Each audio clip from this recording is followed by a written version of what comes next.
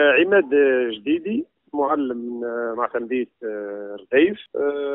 على خلفية الحركة الاحتجاجية وعلى خلفية القرارات اللي اتخذتها النقابة العامة فيما يخص الهيئة الإدارية الأولى والهيئة الإدارية الثانية. وعلى خلفية عدم تطبيق القانون المتعلق بالرائد الرسمي في تخفيض ساعات العمل والذي ينص صراحة على أن المعلمين بمختلف أصنافهم تتراوح ساعات العمل بين 18 و 15 16 ساعة. يرفض آه، معلمو الرديف التوزيع بهذه الطريقة المسلم للسادة المديرين من قبل الإدارة الجهوية والذي لا ينص على تطبيق القانون ويدعو المعلمين إلى التدريس ب 20 ساعة عمل.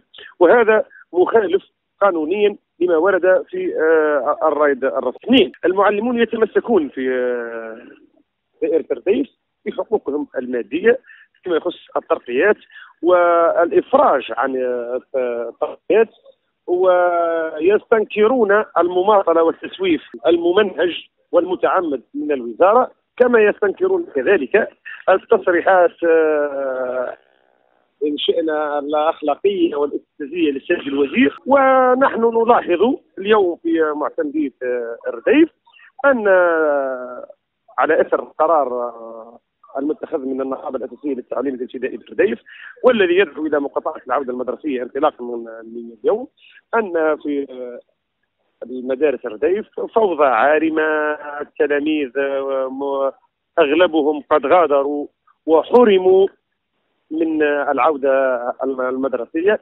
ونحن نحمل سلطة الإشراف وعلى رأسها السيد الوزير الذي وعد الشعب التونسي في العموم ووعد آه، أهالي رديف آه، بالخصوص من عودة مدرسية ميمونة ونحن نلاحظ عكس ما صار تماما. آه، بالنسبة لجهه رديف عودة مدرسية حتى لا أقول مشلولة تماما بل هي متعثرة بنسبة ما يقارب 98% هي عودة متعثرة نسبيا ولكن في الرديف كما قلت لك هذا قرار النقابة الأساسية اتخذ بمعزل عن جميع الجهات إذ اتفقوا جميعا على مقاطعة العودة المدرسية. 14 مدرسة.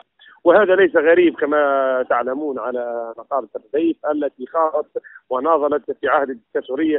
فما بالك اليوم في عهد الدكتاتوريات؟ وثم هم يطالبون بتطبيق القانون. لا أكثر ولا أقل. هم يطالبون بتطبيق القانون وأؤكد المطالبة بتطبيق القانون الوارد في الرائد الرسمي لا أكثر ولا أقل.